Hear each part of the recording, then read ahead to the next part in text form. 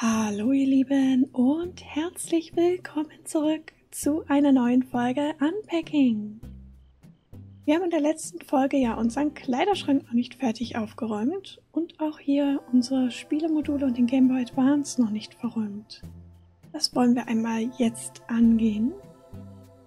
Ah, wir haben hier einmal den Stapel mit den T-Shirts, Stapel Schlafanzüge und Stapel Hosen.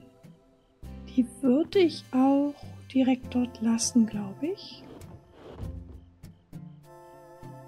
Ähm, verräumen wir erstmal die Socken.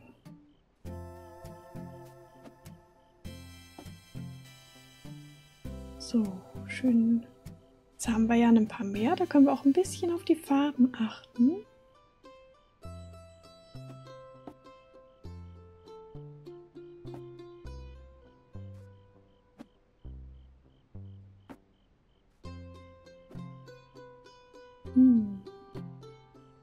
Passen nirgendwo so richtig rein.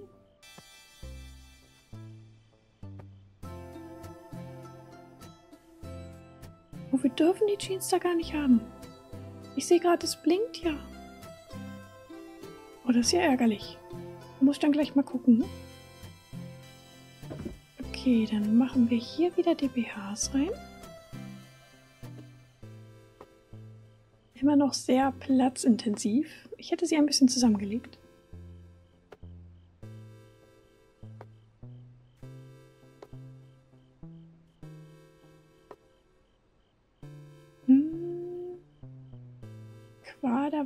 Ich tendiere in diese Richtung. So, dann haben wir einmal rauf und runter. Schön in Reihenfolge. Hier würde ich tatsächlich, glaube ich, die schwarzen Socken mit rübernehmen. So. Könnte theoretisch mehr reinpassen, ich weiß, aber ja gut, äh, wir kaufen bestimmt demnächst nochmal ein. Die Frage ist jetzt, was machen wir mit den Jeans? Die dürfen da ja offensichtlich nicht sein. Ich hatte ursprünglich geplant, dass hier die Schuhe hinkommen, aber offensichtlich möchte das Spiel, dass die Schuhe hier hinkommen.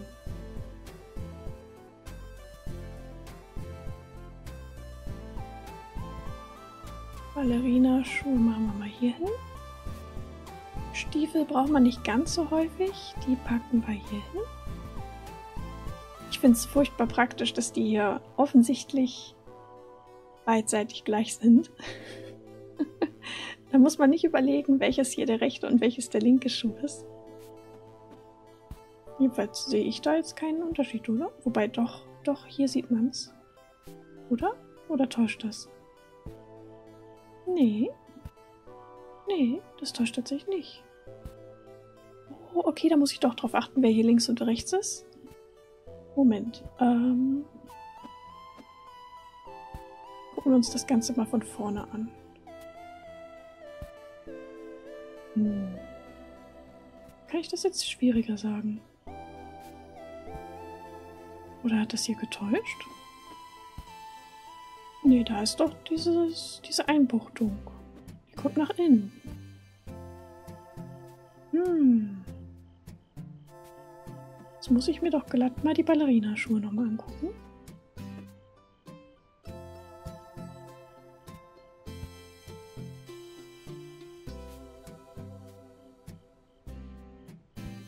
Hm.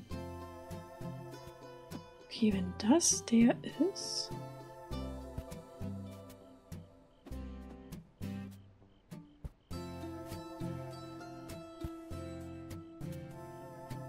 Ah, näher kriegen wir ihn leider nicht ran. Müssen wir mal gucken, ob das platztechnisch noch hinhaut. Hm. Kann ich nicht so richtig sagen. Vielleicht ist das bei den Stiefeln auch gar nicht so wichtig. Es scheint nur bei bestimmten Paaren der Fall zu sein. Bei dem hier hat man es deutlich gesehen. Hier ist das schon wieder schwieriger. Aber ich würde sagen, weil da die gerade ist, ist das die Außenseite.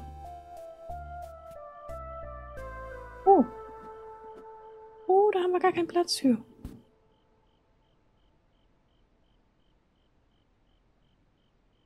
Ähm, dann würde ich sagen, mach mal die Ballerinaschuhe hier raus. Das sind ja keine Alltagsschuhe.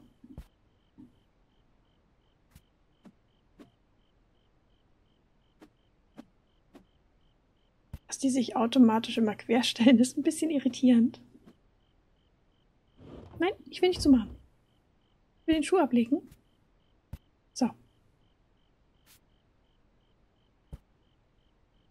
Ja, die muss ich jetzt natürlich weiter rausstellen, weil sonst fühlt sich wieder unsere Schranktür angesprochen.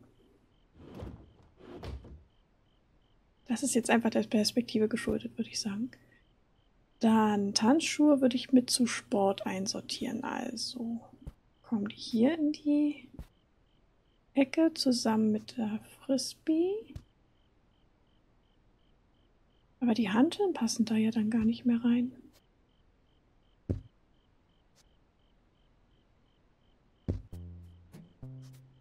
Und wenn ich es so mache, passt die Frisbee nicht mehr rein. Hm.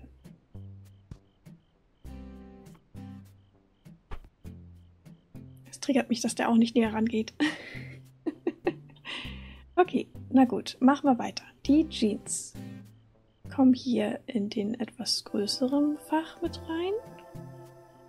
Das kann auch offensichtlich mehr Gewicht ab. Bluse würde ich gerne noch aufhängen. Haben wir hier irgendwo noch einen freien Bügel? Wir haben hier den Rock. Hier haben wir die Arbeitskleidung.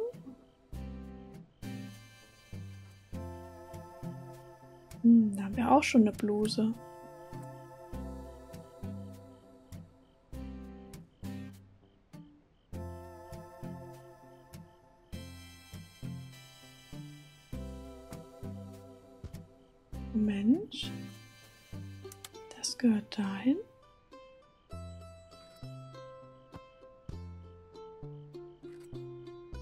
So, das gehört dahin.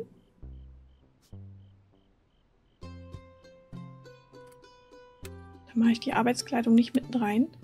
Ah, dieser Farbwechsel stört mich jetzt aber. Moment. So.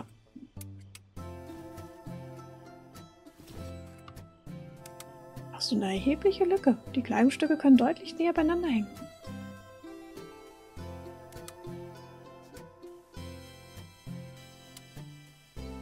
Hm. Gut, müssen wir erstmal so lassen. Könnte sonst die Bluse... Nee, drüber stülpen kann man nicht. Okay, hätte ja sein können. Dann gehört das hier vermutlich zusammen. Das gehört mit dem zusammen. Moment mal. Uns fehlt eine Schlafhose.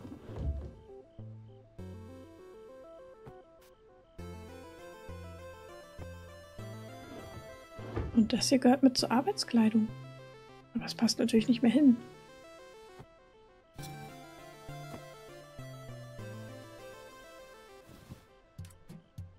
Hm. Arbeitskleidung sollte auch immer bügelfrei bleiben, äh, faltenfrei bleiben, meine ich. also ist Bügelware. Ähm, daher würde ich die mit aufhängen. Aber uns fehlen eindeutig Kleiderbügel. Wir müssen noch mal welche kaufen. Wir haben jetzt hier zwei Blusen, die Bügelware sind. Hm, ärgerlich. Okay, na gut. Dann kommt die Jacke hier hin. Cappy oben drauf. Aber jetzt ist natürlich die Frage, ne? Oh. Oh, da war doch Arbeitskleidung. Äh. Oh, hm. Okay, ich würde sagen, bei dem Muster ist es nicht schlimm.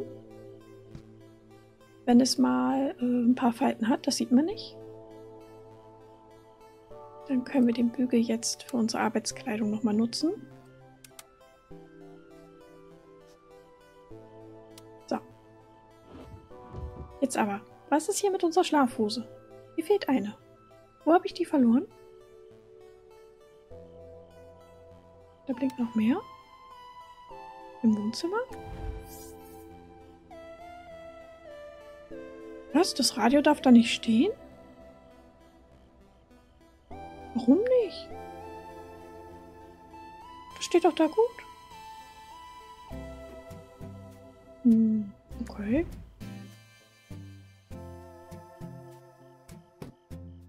Da darf es stehen?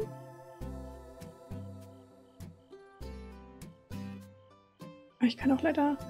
Ich würde es gern höher stellen. Man will sich doch hier einfach vom Stuhl umdrehen und dann Musik an. Wenn man hier sitzt, einfach umdrehen. Hier beispielsweise in dem Fach einfach umdrehen und klick. Schon geht die Musik los. Hm.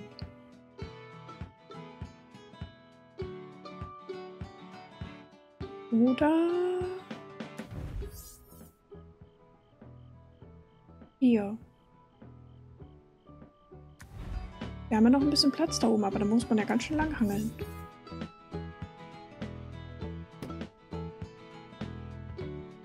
Muss man ja immer aufstehen und äh, Musik an- und ausmachen. Das ist ein bisschen doof. Ich hätte es beim Nähen eher genommen. Da blinkt immer noch irgendwas. Ach da! Das ist äh, eins unserer Lehrbücher, oder?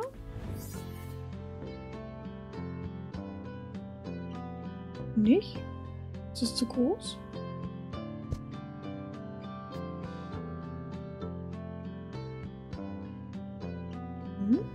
Ist doch noch Platz im Regal.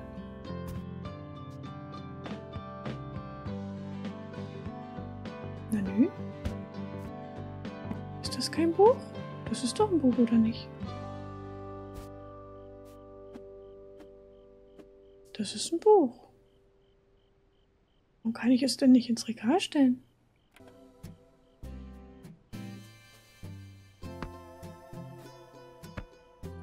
Hier geht's, lustigerweise, aber hier ist es natürlich nicht gewollt. Ach, weil es so ein längliches Buch, also äh, weil, weil es stark in die Tiefe geht. Deswegen vermutlich nicht, weil hier die Tiefe von dem Regal nicht ausreicht. Oh, okay. Ähm. Ja, aber wir haben nur diesen Schrank. Und es darf ja offensichtlich nicht im Wohn... Ach so, es darf schon im Wohnzimmer sein. Ich habe es nur auf Boden liegen lassen. ähm, es darf im Wohnzimmer sein? Es darf wohl... Ach! Da... Da darf es? Es ist doch nicht schlimm, wenn der Buchrücken ein bisschen übers Regal guckt. Also ich hätte das nicht schlimm gefunden. Hm. Habe ich das hier hingelegt? Nee, das von unseren Vorgängern, äh, von unseren Mitbewohnern anscheinend. Kann ich nicht verschieben, leider. Ich würde die Sachen hier gerne ein bisschen wegräumen. Ah, das triggert mich. Immer noch das dreckige Show. Aber gut, ich, ich lasse mich schon wieder ablenken. Ich lasse mich schon wieder ablenken. Wir haben immer noch das Mysterium mit unserem Schlafanzug. Hier fehlt eine Hose. Aber wir haben schon alle Kartons leer geräumt. Wo ist die Hose? Ist das eine der Jeans? Also, dann doch nicht Jeans? Nee. Nee, das sind ganz normale Jeanshosen.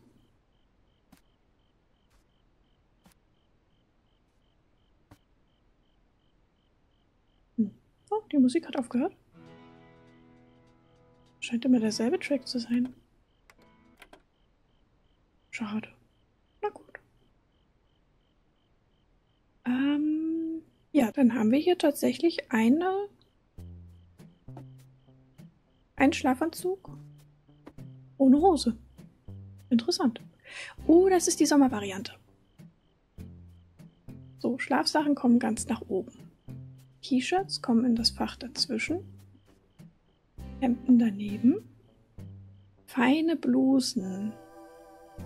Ja, das ist jetzt eine Problematik. Darf ich da noch daneben? Ja, oh, sehr gut. Dann müssen wir das so machen, auch wenn ich sie lieber aufgehangen hätte. Ja, die Frisbee. Die Frisbee ist jetzt eine Frage. Ich hätte sie ja eigentlich hier oben drauf gelegt oder hier an die Seite gelegt. Seitlich hochkant, das hätte doch super gepasst. Ich würde sie eigentlich ungern hier zu den Schlafsachen legen. Und hier darf ich nicht, weil der Schrank zu schmal ist. Ist doch nicht schlimm, wenn die Frisbee ein bisschen drüber guckt.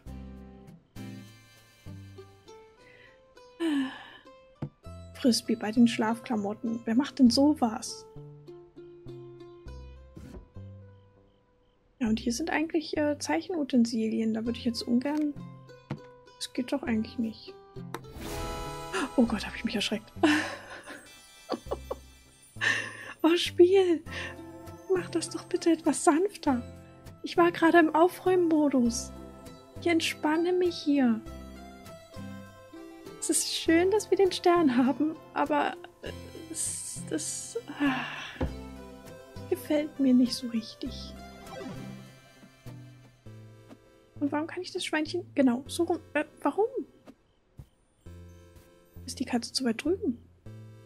Die Katze war zu weit drüben. Alles klar. Hm. Ich hätte sie gerne näher beieinander gesetzt. Aber gut, in der Wohnung hätte ich so vieles sehr gerne. Hier zum Beispiel ist noch richtig viel frei. Ich, ich habe ein bisschen wenig Schubladen benutzt, oder? Oh, ich sehe auch gerade, Moment.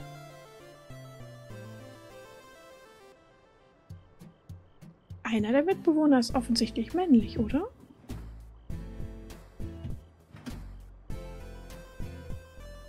Das ist anscheinend so ein Lockenwickler-Ding. Keine Ahnung. Das sind wir. Und das Ding hier sieht ziemlich eher nach einem Männerrasierer aus, als nach einem Damenrasierer. hm. Eine Misch-WG. Wir sind eindeutig also über 17 oder 18. Sonst bin ich mir ziemlich sicher, hätten die Eltern das nicht erlaubt. Gerne noch sortieren. Ah, in die Mitte kommt das Herz. Dann knotet er sich an das Herz. Ach so, ich darf Ach ja. Ich darf ja Bestehende nicht verschieben. Schade. Das sieht aus wie so eine versteckte Botschaft. So ein bisschen die Früchtchen oder die Farbe in der Mitte. Okay, die Erdbeere darf ich auch nicht verschieben. Gerade wollte ich sagen, die farbigen Sachen, also orange, gelb und rot und rot-grün, als ein Streifen in der Mitte und drumherum die ganzen grauen Sachen. wenn man es ordentlich machen möchte. Aber ich darf ja nicht. Ich darf die Sachen nicht bewegen. Ich würde das Herz gerne in der Mitte haben. Die Orange darf ich aber nicht verschieben, nur Herz und Stern. Die darf ich auch alle nicht. Hm. Okay, dann knuddelt der Koala mit dem Raben und was auch immer. Die Feder fliegt im Wind und die Früchtchen und Herzen und Sterne, äh, ja. Wir können höchstens hier, ja, wir können hier Herzen verteilen. Okay, und der Stern kommt über das Tier, was auch immer es ist. Und das darf ich leider nicht verschieben. Das ist ein bisschen schade. Aber gut. Wir haben Ordnung gemacht. Mehr oder weniger, auch wenn mich das mit dem Geschirr immer noch triggert. Hier ist auch alles in Ordnung. Das Buch würde ich gerne zumachen und hier würde ich gerne die Flusen aufsammeln. die hier sehe ich übrigens auch. Ich habe euch nicht übersehen. Hier geht's eigentlich. Nur um das dreckige Geschirr. Mal wieder. Aber gut. Wir schließen einmal unsere erste eigene WG ab.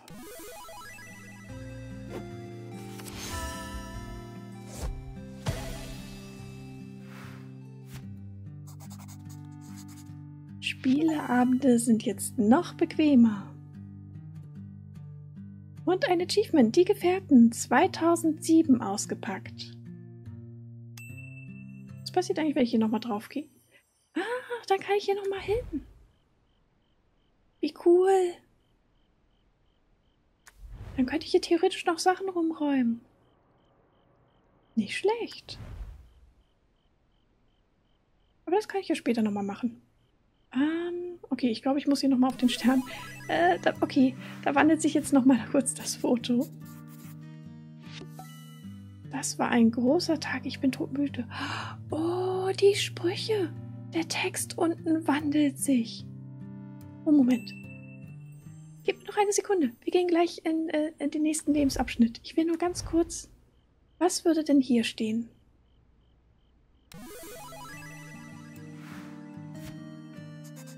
Ich freue mich schon auf die Filmabende. Oh, und auf die Spieleabende. Wie cool, dass sich die Texte anpassen, je nachdem, welches Bild man hier am Ende hat. Oder würde ich. Würde ich doch ehrlich gesagt.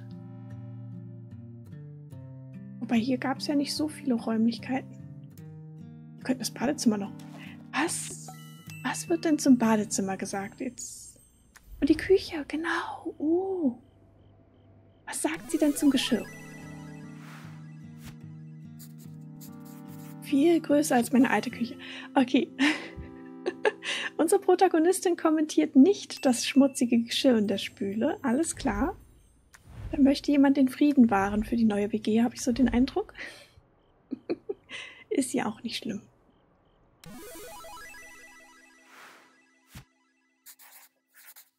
Ein Momentchen, wir teilen uns alle ein Badezimmer? Ja. Oh. Oh nee, Moment. Ja, ich klicke gerade sehr viel rein. Es tut mir leid, aber ich habe hier die Schranktür offen gelassen. Okay, ähm, ich bevorzuge, glaube ich, den Text vom Spieleabend. So. Perfekt. Und dann lupen wir mal ganz kurz in den nächsten Abschnitt rein. 2010, drei Jahre später. Oh, sogar mit Hintergrundanimation, wie cool. Okay. Ist das jemand von unserer WG?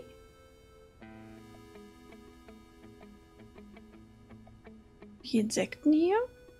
Und die Hand? Wobei, die Hand hatten wir selber. Aber die Insekten sind von uns. Oh, okay, alles klar.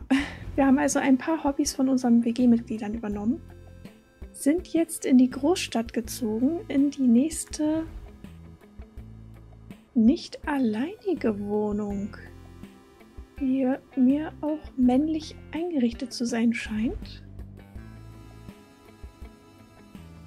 Oh, das könnte auch ein Foto von den beiden sein.